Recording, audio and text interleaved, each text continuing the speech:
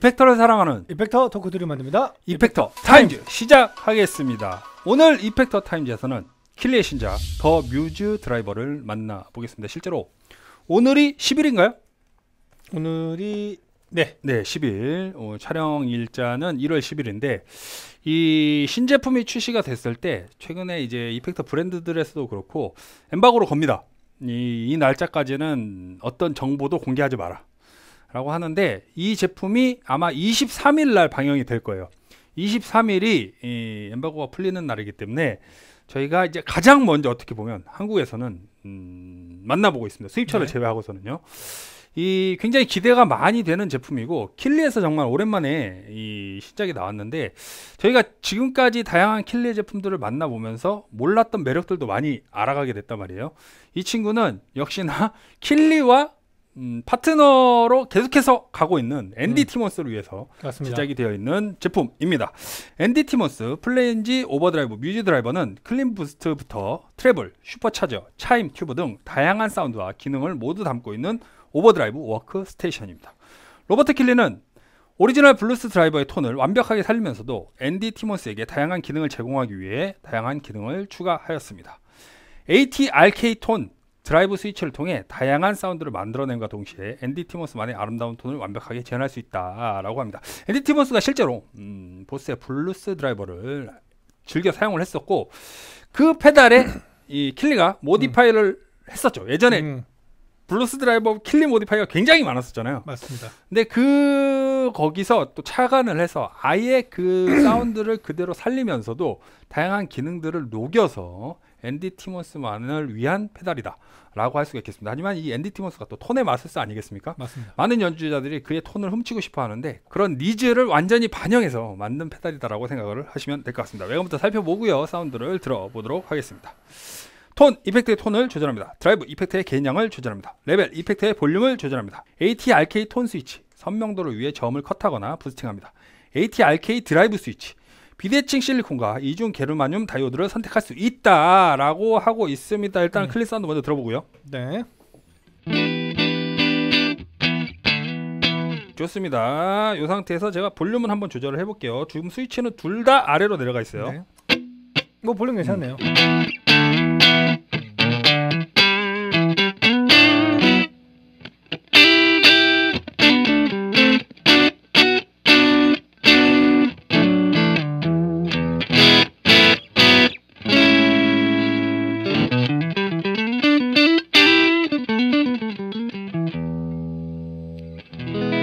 네. 역시나 이렇게 쫙 긁었을 때 그 오리지널 Blues Drive의 그 뉘앙스가 잘 그죠. 살아나고 있습니다. gain을 높여볼게요.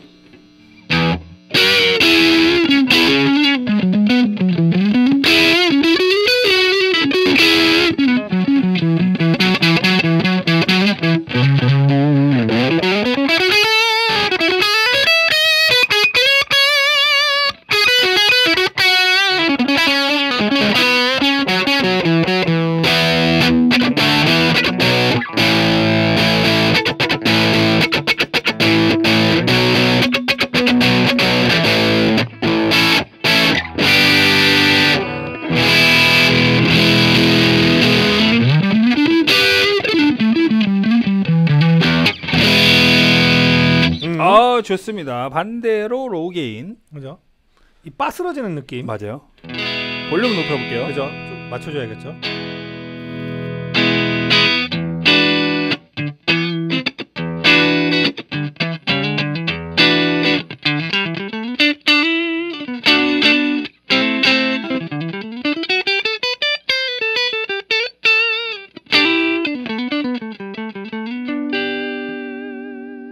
좋습니다. 좋습니다. 이제부터는 그래서 사실 지금부터가 중요하죠. 맞아요. 토글 스위치를 아, AT 앤디 티머스 모드로 변경을 네. 해보도록 하겠습니다. 일단은 톤부터 이게 이제 이 모델의 이제 존재하는 그죠. 이유죠. 제가 치는 동안 형님께서 개인을 조금씩 네. 올려주는 것입니다.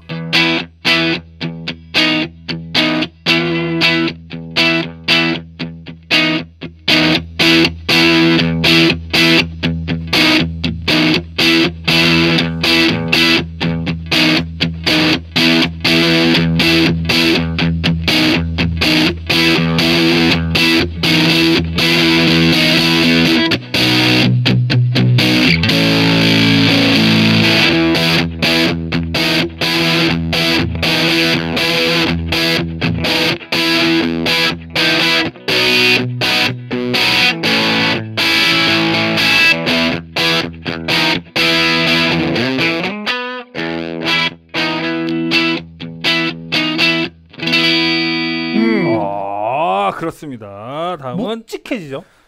드라이브를 AT 모드로. 그죠? 확실히 음.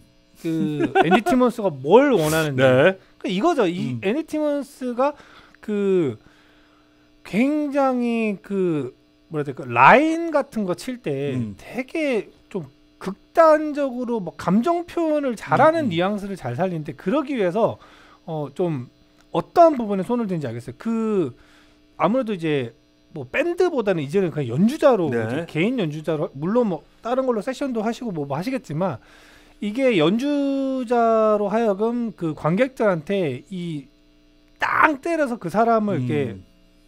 완전 여기를 뽑겠다. 네. 그냥 감아버리겠다라는 의지가 느껴지는 그게 있어요. 이게 이게 왜 그러냐면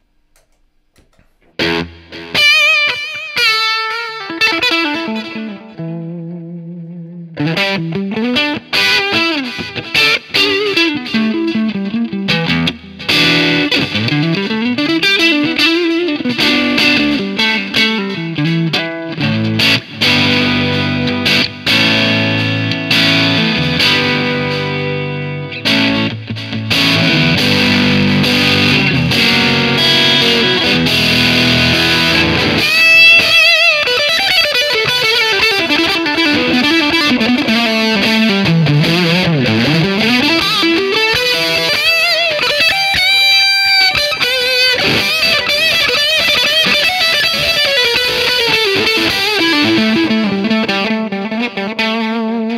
요 정도에서 지금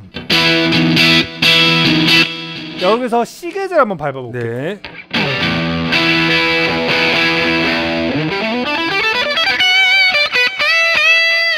굉장히 갑자기 그 뭐 물론 여러분들 시계즈 성향을 아시잖아요. 네. 그 느낌이 어때요?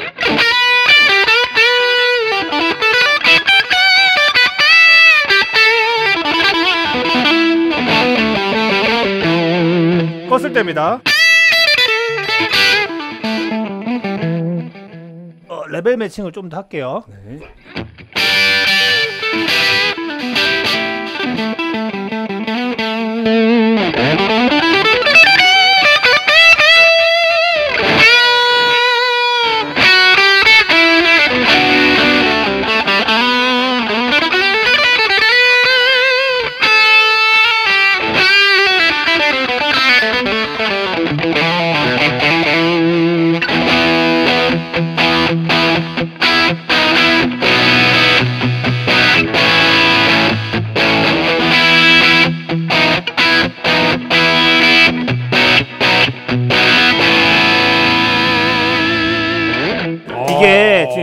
딱. 들어보시면 아시겠지만 네.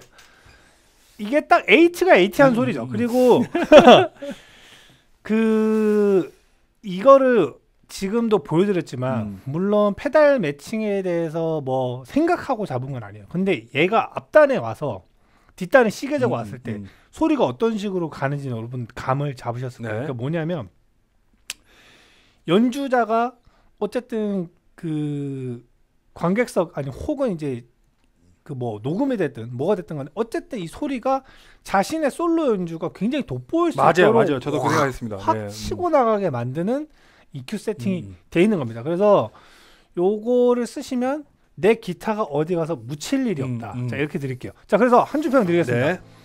어, H가 H했다. 아, 이렇게 드리겠습니다. 그렇습니다. 저는 한줄평 이렇게 드리도록 하겠습니다. 기타리스트라면 Muse Driver. 음. 아까 은총 씨가 해준 말에서 힌트를 얻었고요. 저 역시도 동감을 했습니다. 기타리스트 중에 특히나 앤디 티몬스처럼 이 밴드 음악이긴 하지만 음. 기타가 주가 되는 음. 음악을 하시는 연주자라면 항상 느꼈을 거예요. 아, 이 밴드랑 같이 합주를 하고 있는데 내가 정말 뚫고 나가고 싶은데 뚫리지 않았을 때그 음. 어, 답답함이 있으셨던 분들은 꼭 한번 뮤즈 음. 드라이버 어, 경험해 보시기를 추천드립니다. 오늘도 은총 씨께서 이 Muse Driver가 어, 떤 분들한테 잘 어울리실지 음. 추천을 좀 해주셨으면 좋겠습니다. 네, 그 아무래도 이 그 부스터의 역할로서도 네. 아주 훌륭할 것 같고요. 마- 어, 영역으로 봤을 때는 여, 확실히 좀 모던 성향이죠. 음, 음. 그래서 어, 용도에 따라서는 네. 다쓸 수 있다고 말씀은 드릴 수 있겠으나 예를 들면 빈티지 컨셉의 페달에서 이 친구가 들어오게 됐을 때는 그 음, 밸런스가 좀 음, 많이 깨질 것 음. 같아요. 그러니까 빈티지 스타일로 갔을 때는 음 빈티지 페달로서 나름 이제 본인들이 선택한 어떤 EQ 영역대가 있을 네. 텐데 그걸 무시하고 어느 정도로 그냥 다 야 일로 와 해서 그냥 음, 멱살 잡고 음, 갑자기 확 음, 당겨버리는 EQ 때가 있거든요. 특히나 이제 미드라이 음. 그리고 이제 미들 영역 쪽 이쪽에서 어 어 이 위치가 갑자기 이렇게 변경이 되기 네. 때문에 그랬을 때는 그 빈티지 페달 특히나 뭐뭐 물론 fuzz랑 뭐 드라이브 페달을 섞어 쓰시는 분들도 네. 아니야 fuzz는 그렇게 쓰면 안 되라고 하셔서 하시는 분들도 있지만 그런 성향의 페달들과 만났을 때는 애초에 그 약간 틀이 깨져. 좀 틀이 네. 깨져버리는 감이 있어서 이거는 어 교회에서 연주하시는 분도 음, 좋을 것 같고요. 음, 음. 그리고 교회에서 연주하시는 분들이라 하면 어쨌든 CCM이라든가 음. worship 아니면 혹은 뭐그 뭐 힐송 뭐, 네. 뭐 베델 같이 이제 그런 사운드를 음. 내는 분들은 다 음. 좋아하실 것 같아요. 그리고 기타도 어쨌든 앤디 티몬스가 험싱싱 기타를 어, 쓰는 연주자이기 네. 때문에 기타는 안 가릴 것 같습니다. 기타는 안 가리고 다 잘 묻을 것 같고요. 그리고 확실히 요거는 조금 어 그 락 팝 쪽에서의 음, 음, 덩어리가 제일 어 많은 연주자들한테 어, 도움이 될 만한 사운드입니다. 그래서 팝적인 scene에서도 어 팝적인 락들이 있고 그리고 뭐 뭐 되게 요즘에 나오는 그런 되게 신나는 음악이든 빡센 사운드가 됐던 간에 이 뒤에 distortion 페달이 와도 어, 확 올려질 것이고 음. 어쨌든 소리 밀도가 굉장히 강하고 시원시원하게 나야 되는 음악들에서는 굉장히 다 도움이 될 거고요. 그리고 어, 어, 가요 scene에서도 음. 기타 솔로 부스터로 할 때는 충분히 음. 어, 좋고 그리고 pre단에 뒀을 때도 괜찮다. 음. 하지만 빈티지, 어, 레트로 뭐 그리고 저기 소울 뭐 요쪽에서는 조금 어렵지 않겠는가. 음. 뭐 펑크 뭐, 뭐 city pop 요쪽은 좀 다른 좀 mellow한 걸 쓰시면 될 것 같고요. 제가 말씀드린 거는 어쨌든 큰 영역의 락과 팝 쪽 씬에 훨씬 더 많이 음. 묻어 있다. 이렇게 보겠습니다. 그렇습니다. 제가 이제 숟가락을 좀 얹자면 음, 존재감 있는 기타 솔로 사운드를 원하는 연주자라면 음, 앤디 티먼스 팬이 아니더라도 꼭 한번 경험해 보시죠. 그죠? 앤디 티먼스처럼 그냥 솔로 연주자 하시는 분들한테는 사실은 음, 더 최고죠. 더할 나위 없이 멋진 사운드를 가지고 있는 페달이기 때문에 꼭 한번 경험해 보시길 추천드리면서 저희는 다음 시간에도 또 다른 이펙트를 갖고 찾아뵙겠서 약속드리고 이 시간 짓도록 하겠습니다. 네. 이펙터를 사랑하는 이펙터 덕후 드리면 됩니다. 이펙터 타임즈 다음 시간에 뵙겠습니다. 감사합니다. 유튜브 구독과 좋아요는 우리에게 큰 힘이 됩니다.